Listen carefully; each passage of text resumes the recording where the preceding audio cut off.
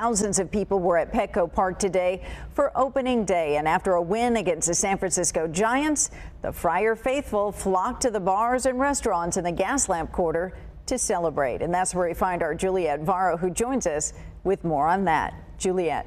Today was a huge win for businesses down here in the Gaslamp. It was literally uh, bumper to bumper, so to speak, with crowds and uh, people. One business owner I spoke to said it had been several years since they'd seen so many people inside their bar and restaurant. The energy just felt different down here today, according to many San Diegans I spoke to. Go Padres! The sights and sounds of opening day fill the streets of downtown San Diego Thursday.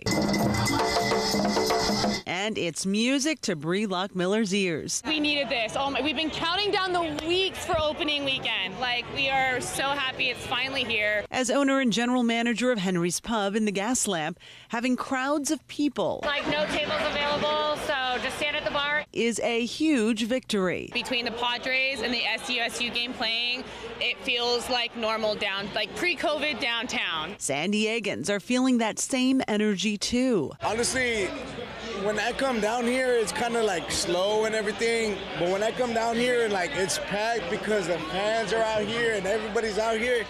Oh man, it's a vibe. It reminded me of back in the day when, when the San Diego nightlife was great. Along every street and on every corner, lines of people enjoying restaurants, bars, cafes. For us um, down here, it's something we've been waiting for all winter. Some business owners saying safety concerns and issues of cleanliness have impacted their bottom line. Some even cutting back hours.